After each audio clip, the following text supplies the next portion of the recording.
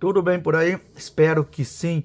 A Apple acaba de liberar o iOS 18.1 Beta 4.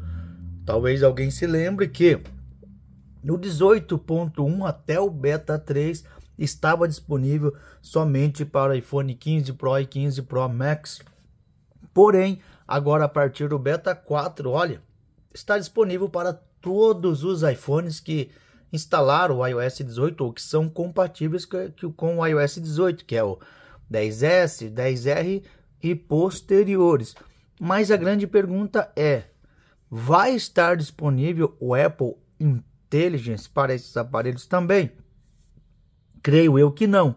Mas o que, que eu vou fazer? Eu vou instalar aqui no iPhone 10R esta atualização e estarei fazendo vídeo no canal mostrando o que tem de novo no 17, no 18.1 beta 4. Adeus 17.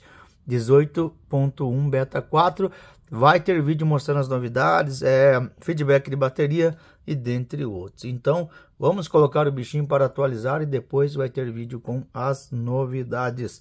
Nunca se esqueça que se hoje não foi bom, amanhã vai ser muito melhor. Deus abençoe a todos. Olha o tamanho da atualização. 6.22 GB. Deus abençoe a todos. Fiquem com Deus.